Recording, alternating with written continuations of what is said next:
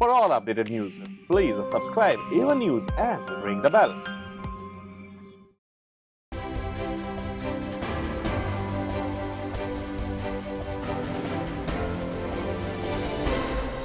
Break ਤੋਂ ਬਾਅਦ ਤੁਹਾਡਾ ਸਵਾਗਤ ਹੈ ਕਰਨਾਲ ਵਿੱਚ ਕਾਂਗਰਸੀ ਕਾਰਜਕਰਤਾ ਦੇ ਘਰ ਪਹੁੰਚੇ ਸਾਬਕਾ ਮੁੱਖ ਮੰਤਰੀ ਭੁਪਿੰਦਰ ਸਿੰਘ ਹੁੱਡਾ ਉੱਥੇ ਮੀਡੀਆ ਨਾਲ ਗੱਲਬਾਤ ਕਰਦਿਆਂ ਹੁੱਡਾ ਨੇ ਭਾਜਪਾ ਸਰਕਾਰ ਤੇ ਜੰਮ ਕੇ ਤਿੱਖੇ ਸ਼ਬਦੀ ਹਮਲੇ ਕੀਤੇ ਉਹਨਾਂ ਨੇ ਕਿਹਾ ਕਿ ਪ੍ਰਦੇਸ਼ ਵਿੱਚ ਕਾਨੂੰਨ ਵਿਵਸਥਾ ਪੂਰੀ ਤਰ੍ਹਾਂ ਬਿਖਰ ਗਈ ਹੈ ਦੁਸ਼ਕਰਮ ਦੇ ਮਾਮਲੇ ਦਿਨ ਪਰ ਦਿਨ ਵਧਦੇ ਹੀ ਜਾ ਰਹੇ ਨੇ ਅਤੇ ਸਰਕਾਰ ਹੈ ਕਿ ਹੱਥ ਤੇ ਹੱਥ ਧਰ ਕੇ ਬੈਠੀ ਹੈ ਉਹਨਾਂ ਨੇ ਕਿਹਾ ਕਿ ਸਰਕਾਰ ਨੂੰ ਚਾਹੀਦਾ ਹੈ ਕਿ ਉਹ ਹੁਣ ਅਸਤੀਫਾ ਦੇ ਦੇਵੇ बुलाया था हाँ पूरे जो हमारे साथी हैं और नेता यहाँ सभी साथियों से मिला बहुत खुशी लगी यहाँ के हालात हालात पता किए। लोग सब जो है, सरकार की वजह से परेशान है, हर वर्ग विमुख हो चुका है और वो कांग्रेस की ओर देख रहे हैं। हरियाणा में बड़ी विस्फोटक स्थिति है। हर प्रकार से सरकार फेल है और ऐसा लगता है जैसे हरियाणा में सरकार नाम की चीज़ कोई नहीं। जिन मुख्यमंत्री ने बेटी बचाओ का नारा लगाया था,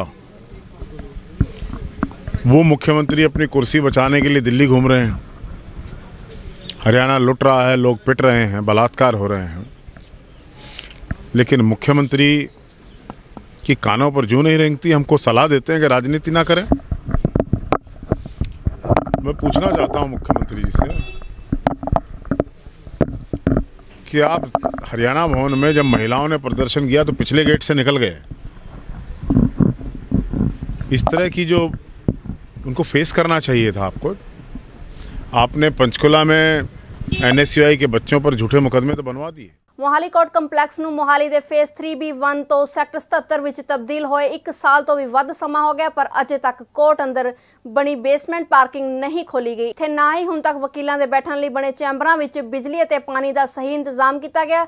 ਜਿਸ ਕਾਰਨ ਵੱਖ-ਵੱਖ ਥਾਵਾਂ ਤੋਂ ਆਉਣ ਵਾਲੇ ਲੋਕਾਂ ਨੂੰ ਭਾਰੀ ਮੁਸ਼ਕਲਾਂ ਦਾ ਸਾਹਮਣਾ ਕਰਨਾ ਪੈ ਰਿਹਾ ਹੈ। ਸੜਕ ਤੇ ਵਾਹਨਾਂ ਦੀਆਂ ਲੰਮੀਆਂ ਲਾਈਨਾਂ ਲੱਗਣ ਕਾਰਨ ਕਈ ਹਾਦਸੇ ਵੀ ਵਾਪਰ ਚੁੱਕੇ ਨੇ, ਪਰ ਪ੍ਰਸ਼ਾਸਨ ਹੈ ਕਿ ਇਸ ਦੇ ਸਿਰ ਤੇ ਜੂੰ ਵੀ ਨਹੀਂ ਰਹਿੰਦੀ। ਸਾਨੂੰ ਇਹ ਜਿਹੜਾ ਨਵਾਂ ਜੁਡੀਸ਼ੀਅਲ ਕੰਪਲੈਕਸ ਆਇਆ, ਕੰਪਲੈਕਸ ਤੇ ਬਹੁਤ ਵਧੀਆ ਬਣਿਆ ਹੈ, ਲੇਕਿਨ ਇੱਥੇ ਨਾ ਤਾਂ ਸਾਡੇ ਵਕੀਲਾਂ ਦੇ ਵਾਸਤੇ ਬਿਜਲੀ ਦਾ ਕੋਈ ਅਰੇਂਜਮੈਂਟ ਹੈਗਾ ਨਾ ਸਾਡੇ ਕੋਈ ਪਾਣੀ ਦਾ ਅਰੇਂਜਮੈਂਟ ਹੈ। ਸਭ ਤੋਂ ਵੱਡੀ ਪ੍ਰੋਬਲਮ ਹੈ, ਤੁਸੀਂ ਦੇਖ ਰਹੇ ਹੋ ਕਿ ਕਾਰਾਂ ਜਿੰਨੀਆਂ ਵੀ ਲਿਟੀਗੈਂਟ ਸੀ ਐਡਵੋਕੇਟਸ ਆਉਂਦੇ ਨੇ, ਇਹ ਰੋਡ ਦੇ ਉੱਤੇ ਖੜਦੀਆਂ ਨੇ। ਚੰਡੀਗੜ੍ਹ ਦੇ ਨੇੜੇ ਜ਼ੀਰਕਪੁਰ ਵਿੱਚ ਦੇਹ ਵਪਾਰ ਦਾ ਧੰਦਾ ਜ਼ੋਰਾਂ ਸ਼ੋਰਾਂ ਨਾਲ ਚੱਲ ਰਿਹਾ ਅਤੇ ਹੋਟਲ ਵਾਲੇ ਵੀ ਇਸ ਧੰਦੇ ਨੂੰ ਵਧਾਉਣ ਵਿੱਚ ਅਹਿਮ ਭੂਮਿਕਾ ਨਿਭਾ ਰਹੇ ਨੇ। ਤਾਜ਼ਾ ਮਾਮਲਾ ਜ਼ੀਰਕਪੁਰ ਵਿੱਚ ਚੰਡੀਗੜ੍ਹ ਹਾਈਵੇ ਤੇ ਬਣੇ ਹੋਟਲ ਵਿੱਚ ਵੇਖਣ ਨੂੰ ਮਿਲਿਆ, ਜਿੱਥੇ ਦੇ ਵਪਾਰ ਦਾ ਧੰਦਾ ਚਲਾ ਰਿਹਾ ਇੱਕ ਦਲਾਲ। ਇੱਕ ਵਿਦੇਸ਼ੀ ਲੜਕੀ ਨਾਲ ਹੋਟਲ ਵਿੱਚ ਦਾਖਲ ਹੋਇਆ।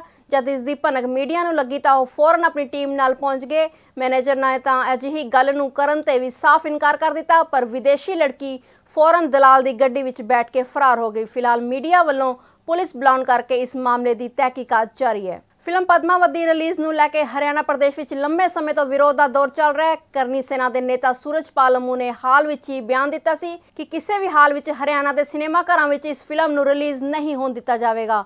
ਪਰ ਹੁਣ ਜਦ ਇਸ ਫਿਲਮ ਦਾ ਨਾਮ ਬਦਲ ਕੇ ਪਦਮਾਵਤ ਰੱਖ ਦਿੱਤਾ ਹੈ ਅਤੇ ਕਈ ਨਿੰਦਣਯੋਗ ਸੀਨ ਫਿਲਮ ਤੋਂ ਕੱਟ ਦਿੱਤੇ ਨੇ, ਤਾਂ ਸੈਂਸਰ ਬੋਰਡ ਨੇ ਵੀ ਇਸ ਫਿਲਮ ਨੂੰ 25 ਤਰੀਕ ਤੱਕ ਰਿਲੀਜ਼ ਕਰਨ ਦੇ ਹੁਕਮ ਦੇ ਦਿੱਤੇ ਨੇ। ਅਤੇ ਸੁਪਰੀਮ ਕੋਰਟ ਨੇ ਵੀ ਇਸ ਫਿਲਮ ਦੇ ਲੱਗੇ ਬੈਨ ਨੂੰ ਹਟਾ ਦਿੱਤਾ ਹੈ। ਹਰਿਆਣਾ ਕੇ ਦਿਸ਼ਾ ਨਿਰਦੇਸ਼ ਅਨੁਸਾਰ ਪਦਮਾਵਤ ਰਿਲੀਜ਼ ਹੋ ਰਹੀ ਹੈ और जहाँ तक हरियाणा पुलिस की तैयारियों की बात है, दिशा निर्देश जारी कर दिए गए हैं। और मैं इतना ही कह सकती हूँ कि जितनी भी जहाँ पर भी अगर कोई स्क्रीन करना चाहता है, कोई पिक्चर देखने के लिए जाना चाहता है, बेझिझक जाए। हमारे सभी फ़ील्ड यूनिट्स हर तरीके से पुख्ता इंतज़ाम करेंगी। उन सिनेमा हॉल की सुरक्षा का भी और जो व्यक्ति जाके देखना चाहते व्यूवर्स उनकी सुरक्षा का ਰੂਪਨਗਰ ਜ਼ਿਲ੍ਹਾ ਪ੍ਰਸ਼ਾਸਨ ਵੱਲੋਂ ਇੱਕ ਪੁਨਰਵਾਸ ਕੇਂਦਰ ਤੇ ਛਾਪਾ ਮਾਰਿਆ ਗਿਆ। ਇਸ ਕੇਂਦਰ ਵਿੱਚ ਖਾਮੀਆਂ ਹੋਣ ਕਰਕੇ ਜੀਵਨ ਜੋਤ ਫਾਊਂਡੇਸ਼ਨ ਅਤੇ ਪੁਨਰਵਾਸ ਕੇਂਦਰ ਦੀ ਮਾਨਤਾ ਰੱਦ ਕਰ ਦਿੱਤੀ ਗਈ ਹੈ ਅਤੇ ਇੱਥੇ ਦਾਖਲ ਮਰੀਜ਼ਾਂ ਨੂੰ ਮੋਹਾਲੀ ਫਤਿਹਗੜ੍ਹ ਸਾਹਿਬ ਵਿੱਚ ਮੌਜੂਦ ਪੁਨਰਵਾਸ ਕੇਂਦਰਾਂ ਵਿੱਚ ਭੇਜ ਦਿੱਤਾ ਗਿਆ ਚੈਕਿੰਗ ਦੌਰਾਨ ਮਰੀਜ਼ਾਂ ਨੇ ਦੱਸਿਆ ਕਿ ਉਹਨਾਂ ਨੂੰ ਇੱਥੇ ਜ਼ਬਰਦਸਤੀ ਰੱਖਿਆ ਗਿਆ ਹੈ, ਜਿਸ ਕਰਕੇ ਉਹਨਾਂ ਦੀ ਗੁਹਾਰ ਤੇ ਉੱਤੇ ਮਰੀਜ਼ਾਂ ਨੂੰ ਹੋਰ ਪੁਨਰਵਾਸ ਕੇਂਦਰਾਂ ਵਿੱਚ ਭੇਜਿਆ ਗਿਆ। ਅਸੀਂ ਇੱਥੇ ਅੱਜ ਅਚਨਚੇਤ ਡਿਪਟੀ ਕਮਿਸ਼ਨਰ ਜੀ ਦੇ ਨਾਲ ਮਿਲ ਕੇ ਇੱਥੇ ਸਾਡੀ ਜੁਆਇੰਟ ਟੀਮ ਹੈਲਥ ਡਿਪਾਰਟਮੈਂਟ ਦੀ ਤੇ ਉਹਨਾਂ ਦੀ ਅਗਵਾਈ ਦੇ ਹੇਠ ਮਿਲ ਕੇ ਅਸੀਂ ਇੱਥੇ ਚੈਕਿੰਗ ਕੀਤੀ ਹੈ। ਤੇ ਚੈਕਿੰਗ ਦੇ ਦੌਰਾਨ ਸਾਨੂੰ ਲੱਗਿਆ ਵੀ ਇੱਥੇ ਜਿਹੜਾ ਇਹਨਾਂ ਦੀ ਕੰਡੀਸ਼ਨ ਹੈ, ਰਹਿਣ ਦੀ, ਜਿੱਥੇ ਇਹਨਾਂ ਦੇ ਕਮਰਿਆਂ 'ਚ ਰੱਖਦੇ ਨੇ, ਬੜੀ ਅਨਹਾਈਜੀਨਿਕ ਲੱਗੀ ਤੇ ਸਫ਼ਾਈ ਨਹੀਂ, ਬਿਲਕੁਲ ਨਹੀਂ ਲੱਗੀ। ਸਫ਼ਾਈ ਦਾ ਬਹੁਤ ਬੁਰਾ ਹਾਲ ਸੀ ਬਾਥਰੂਮ ਬਹੁਤ ਗੰਦੇ ਸੀਗੇ ਤੇ ਇਸ ਕਰਕੇ ਅਸੀਂ ਇਹ ਇਹ ਸਾਨੂੰ ਸਾਰਾ ਮਤਲਬ ਉਹਦੇ ਰਹਿਣ ਦੇ ਹਾਲਾਤ ਠੀਕ ਨਹੀਂ ਮਿਲੇ। ਮੈਨੂੰ ਮੈਂ ਕੋਈ ਡਰਗ ਐਡਿਕਟ ਨਹੀਂ ਹੈਗਾ। ਮੇਰਾ, ਮੇਰੇ ਭਰਾ ਦੇ ਨਾਲ ਥੋੜਾ ਪ੍ਰੋਬਲਮ ਸੀ ਹਿਸਟਰੀ ਮੇਰੀ ਪ੍ਰੋਬਲਮ ਸੀਗੀ। ਤੇ ਜਿਹੜੇ ਇੱਥੇ ਐਮਡੀ ਆ, ਉਹ ਮੇਰੇ ਭਰਾ ਦੇ ਦੋਸਤ ਸੀਗੇ, ਉਹ ਮੇਰੇ ਭਰਾ ਦੀ ਸ਼ਿਕਾਇਤ ਤੇ ਉਹ ਮੈਨੂੰ, ਮੇਰਾ ਭਰਾ ਮੈਨੂੰ ਲਾਈਕ ਨਹੀਂ ਸੀ ਕਰਦਾ ਘਰ 'ਚ ਰਹਿਣਾ। ਮੈਂ ਬਾਹਰ ਨਹੀਂ ਸਾਲ ਸਾਲ ਸਟੇਡੀਅਮ ਵਿੱਚ ਜਾਣਾ ਸੀ। ਉਹ ਉਹਨਾਂ ਦੀ ਡਾਇਰੈਕਸ਼ਨ ਤੇ ਮੈਨੂੰ ਜ਼ਬਰਦਸਤੀ ਕਰੂੰਗੇ ਤੇ ਮੈਂ ਜਦੋਂ ਇੱਥੇ ਆ ਕੇ ਕਿਹਾ ਕਿ ਮੈਂ ਕੋਈ ਡਰਗ ਐਡਿਕਟ ਨਹੀਂ, ਮੈਨੂੰ ਰੱਖਣਾ, ਮੈਨੂੰ ਕਹਿੰਦਾ ਸਿਰਫ 4 ਦਿਨ ਰੱਖਣਾ ਪੈਂਦਾ। ਤੇ 4 ਦਿਨ ਤੋਂ ਬਾਅਦ ਤੁਹਾਨੂੰ ਅਸੀਂ ਭੇਜ ਦੇਣਾ। ਲੇਕਿਨ 4 ਦਿਨ ਤੋਂ ਬਾਅਦ ਮੈਂ ਨਹੀਂ, ਮੈਨੂੰ ਜਾਣ ਦਿੱਤਾ ਤਾਂ ਮੈਂ ਰੌਲਾ ਰੱਪਾ ਪਾਇਆ ਤਾਂ ਮੈਨੂੰ ਇਹ ਚੰਡੀਗੜ੍ਹ ਦਵਾਈ ਦਵਾਉਣ ਲੱਗੇ, ਕਹਿੰਦੇ ਇਹ ਪਾਗਲ ਹੈ। ਇੱਥੇ ਇਹਨਾਂ ਨੂੰ ਸਾਰਿਆਂ ਨੂੰ ਦੱਸਿਆ ਕਿ ਇਹ ਪਾਗਲ ਆ, ਇਹਦੀ ਦਿਮਾਗੀ ਹਾਲਤ ਖਰਾਬ ਹੈ। ਅੱਜ ਮਾਨਯੋਗ ਡੀਸੀ ਸਾਹਿਬ ਨੇ ਜਿਹੜਾ ਹੈਗਾ, ਐਸਐਮਓ ਸਾਹਿਬ, ਸੀਐਮਓ ਸਾਹਿਬ ਤੇ ਹੋਰ ਜਿਹੜਾ ਹੈਗਾ ਡਾਕਟਰਾਂ ਦੀ ਟੀਮ ਦੇ ਨਾਲ ਜਿਹੜਾ ਹੈਗਾ, ਇੱਥੇ ਨਸ਼ਾ ਛਡਾਊ ਕੇਂਦਰ ਚੈੱਕ ਕੀਤਾ ਸੀਗਾ। ਉਹਨਾਂ ਨੇ ਆਪਣੀ ਚੈਕਿੰਗ ਰਿਪੋਰਟ ਕਰਨ ਤੋਂ ਬਾਅਦ ਸਾਨੂੰ ਜਿਹੜੇ ਹੈਗੇ ਉੱਥੋਂ ਕੁਝ ਜਿਹੜੇ ਪੇਸ਼ੈਂਟ ਉਹਦੇ ਵਿੱਚ ਦਾਖਲ ਸੀਗੇ। ਵੀ ਉਹਨਾਂ ਨੂੰ ਮੋਹਾਲੀ ਦੇ ਫਤਿਹਗੜ੍ਹ ਸ਼ਿਫਟ ਕਰਨ ਵਾਸਤੇ ਦੇਖ ਦਿੱਤਾ ਤਾਂ ਉਹ ਅਸੀਂ ਕਰਾਤੇ ਨੇ। ਤੇ ਜਦੋਂ ਸੀਐਮਓ ਸਾਹਿਬ ਨੇ ਸਾਨੂੰ ਇੱਕ ਐਪਲੀਕੇਸ਼ਨ ਮੂਵ ਕੀਤੀ ਹੈਗੀ, ਅਸੀਂ ਉਹਦੇ ਉੱਤੇ ਪਰਚਾ ਦਰਜ ਕਰਕੇ ਇਹਦੀ ਤਫਤੀਸ਼ ਅਮਲ ਚ ਲਿਆ ਰਹੇ ਲੁਧਿਆਣਾ ਸ਼ਹਿਰ ਦੀ ਫੈਕਟਰੀ ਵਿੱਚ ਹੋਏ ਅਗਜਨੀ ਕਾਂਡ ਨੂੰ 2 ਮਹੀਨੇ ਹੋਣ ਵਾਲੇ ਹੋ ਗਏ, ਪਰ ਇਸ ਕਾਂਡ ਵਿੱਚ ਮਰੇ ਸਾਰੇ ਵਿਅਕਤੀਆਂ ਦੀਆਂ ਲਾਸ਼ਾਂ ਅਜੇ ਤੱਕ ਨਹੀਂ ਮਿਲੀਆਂ। ਦੱਸਦੇ ਕਿ ਇਸ ਕਾਂਡ ਵਿੱਚ ਕਰੀਬ 13 ਲੋਕਾਂ ਦੀ ਮੌਤ ਹੋ ਗਈ ਸੀ। ਦੁਰਘਟਨਾ ਤੋਂ ਬਾਅਦ ਪੰਜਾਬ ਦੇ ਮੁੱਖ ਮੰਤਰੀ ਖੁਦ ਘਟਨਾ ਵਾਲੀ ਥਾਂ ਦਾ ਜਾਇਜ਼ਾ ਲੈਣ ਪਹੁੰਚੇ ਸੀ। ਉੱਥੇ ਹੀ ਉਹਨਾਂ ਨੇ ਮ੍ਰਿਤਕ ਦੇ ਪਰਿਵਾਰ ਵਾਲਿਆਂ ਨੂੰ 10-10 ਲੱਖ ਰੁਪਏ ਦੇਣ ਦਾ ਐਲਾਨ ਕੀਤਾ ਸੀ। ਇੰਨਾ ਹੀ ਨਹੀਂ, ਪੰਜਾਬ ਦੇ ਲੋਕਲ ਬਾਡੀ ਮੰਤਰੀ ਨਵਜੋਤ ਸਿੰਘ ਸਿੱਧੂ ਨੇ ਵੀ ਇੱਕ ਪ੍ਰੈਸ ਕਾਨਫਰੰਸ ਕਰਕੇ ਲੁਧਿਆਣਾ ਦਮਕਲ ਵਿਭਾਗ ਨੂੰ ਮਜ਼ਬੂਤ ਕਰਨ ਦੀ ਗੱਲ ਕਹੀ। ਪਰ ਅਫਸੋਸ, ਨਾ ਕਿ ਮ੍ਰਿਤਕਾਂ ਦੇ ਪਰਿਵਾਰਾਂ ਨੂੰ ਮੁਆਵਜ਼ਾ ਮਿਲਿਆ ਅਤੇ ਨਾ ਹੀ ਨਵਜੋਤ ਸਿੰਘ ਸਿੱਧੂ ਦਮਕਲ ਵਿਭਾਗ ਨੂੰ ਮਜ਼ਬੂਤ ਕਰ ਸਕੇ ਜਿਸ ਦੇ ਚੱਲਦੇ ਪੀੜਿਤ ਪਰਿਵਾਰਾਂ ਨੇ ਸਰਕਾਰ ਨੂੰ ਆਪਣੇ ਵਾਅਦੇ ਪੂਰੇ ਕਰਨ ਦੀ ਗੁਹਾਰ ਲਗਾਈ ਹੈ। ਉਸ਼ਾ ਰਾਣੀ ਅੱਛਾ ਮਨੋਹਰ ਲਾਲ ਜੀ ਦੀ ਕੀ ਗੱਲ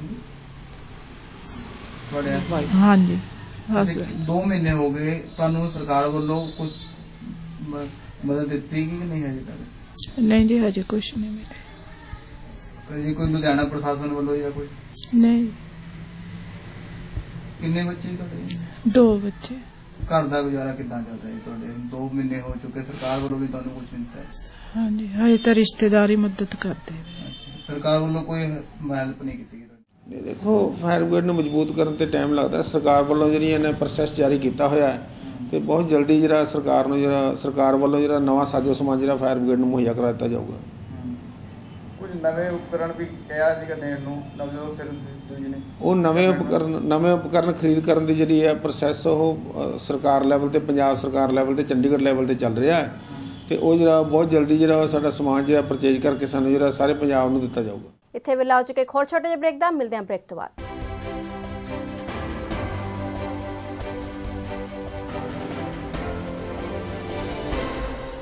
For all updated news, please subscribe Ava News and ring the bell.